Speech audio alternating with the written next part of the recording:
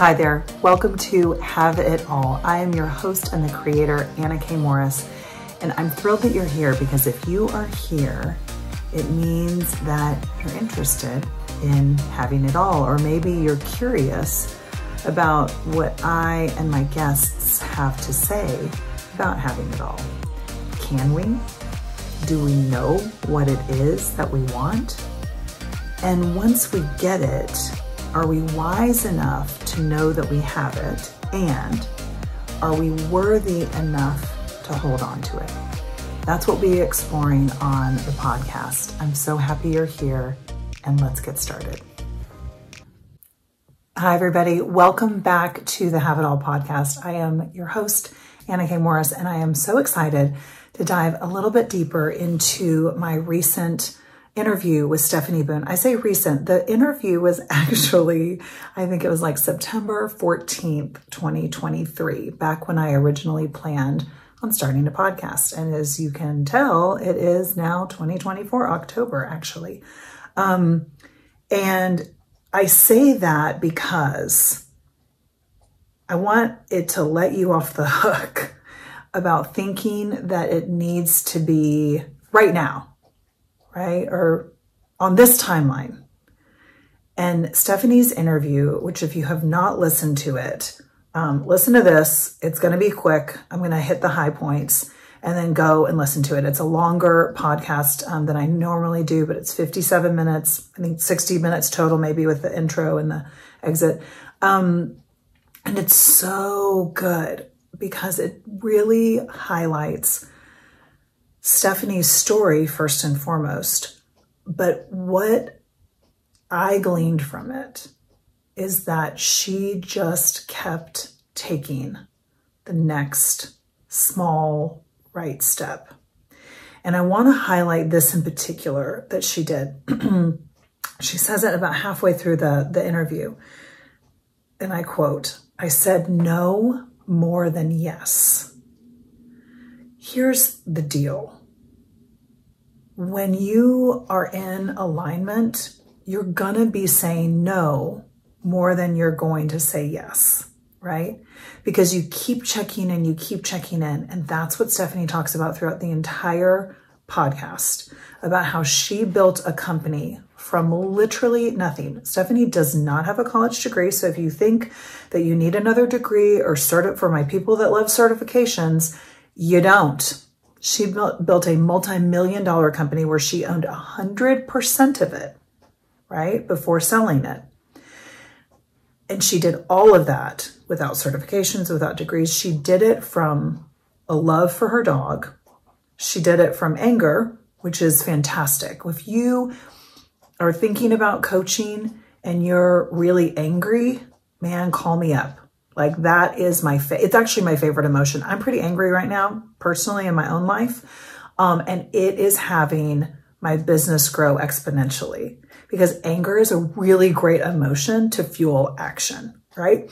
And then she combined that, that like fierce love. She talks about it throughout the interview, that fierce love that she has with curiosity, with curiosity, curiosity, like continuing to explore what it is that needs to happen next in order for her dog to be protected and for all animals and families to be protected.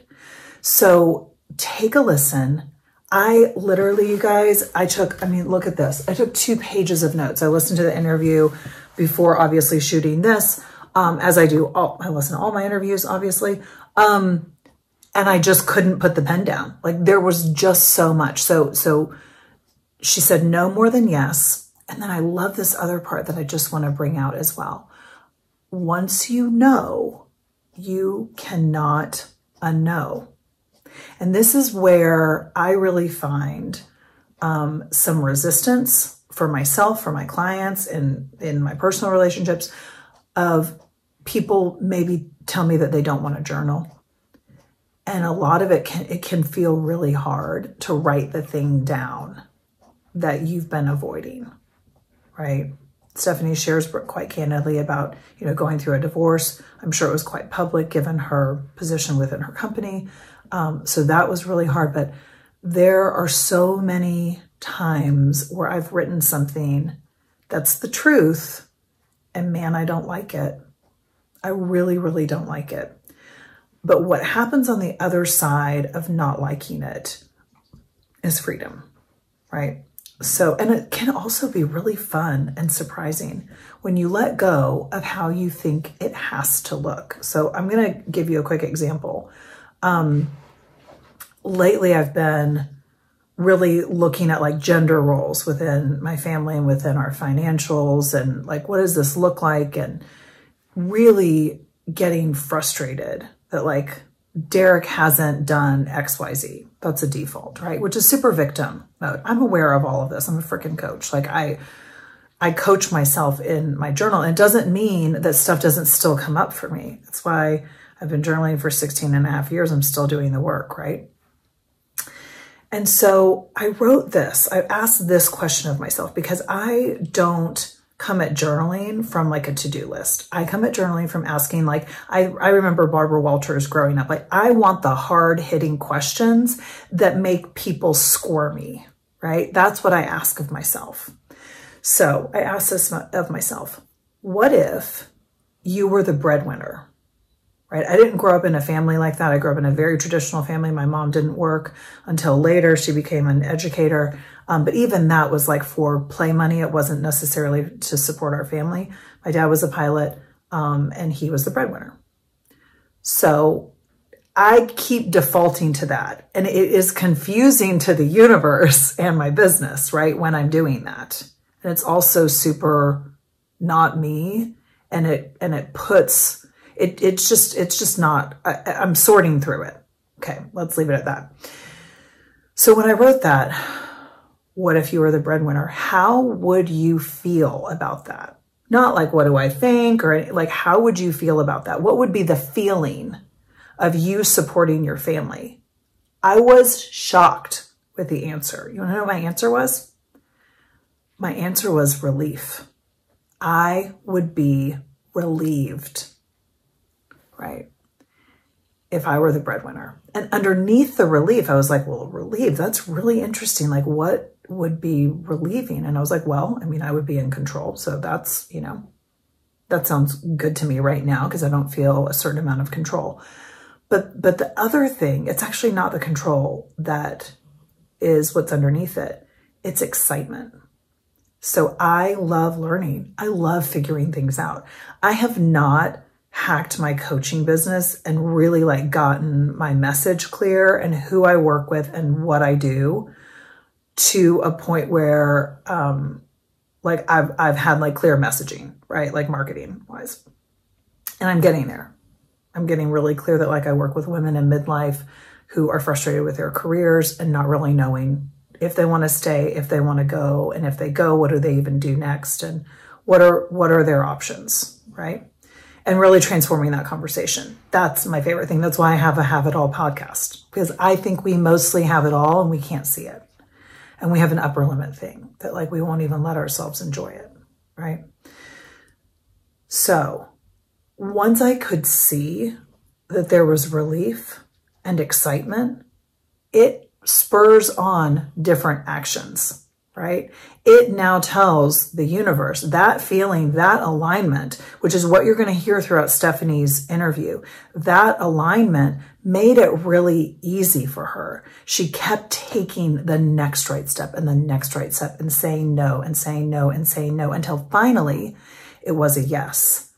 And man, her yes was a windfall, right? And it was a really hard time and it was COVID and a divorce and like all of these things. It doesn't mean that when abundance and alignment and all of those things finally line up, that it wasn't without the work and effort. And quite frankly, we want that work and effort, right? Like I was telling my husband this morning, um, I was the best swimmer when I was on a team. They made me level up. That's why they say that that what you earn is uh is what the people around you earn. Like if you want to look to see like what your earning potential is, look to the five people that you spend the most time with, right? Because it has you level up. So go and take a listen to this interview. It is absolutely phenomenal. She, um, I'm so excited. I think I'm going to have Stephanie come back actually. So Stephanie, if you're listening to this, get ready. I'm going to ask you to come back because it was over a year ago that we did that interview. And I also want to point to this. When you are in alignment, like I've, like I've been always with my coaching business, even when it shape shifted into different things, different offerings, all that, I'm still working on the same thing, which is having people love their lives and really enjoy them even though I've changed the name since since Stephanie and I did the interview, it's the same guts. Like when I listened to the interview before before um, uploading it, I was like, oh yeah, that's no problem. Like I did it 13 months ago, totally cool because it's still the conversation of having it all. And so I'm going to have Stephanie come back and we'll revisit where she's been since she sold her company. And I know she's been traveling a lot and, and not working. So it's a really wild journey to go from building something brick by brick for 15 years to then not working and really probably not needing to for the rest of her life. So what's that? What's that feel like? What's that look like? Um, thank you for listening. I love you. And I will be back with a great episode and a guest that's going to blow your mind on Thursday. Okay. Bye. Thank you so much for being here. It is an honor and a privilege to have this conversation with you as we expand in the world. What is it that we want? Do we believe that we can have it all? I hope this episode gave you some insights and some things to think about, and most importantly, some actions to go and take in your own life. If one of those actions is reaching out to me, I'm so thrilled and honored.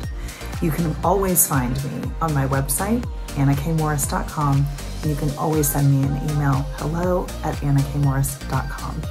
DM, texting, if you have my number, any of that is great too, and I would love to be in touch with you and help you have it all.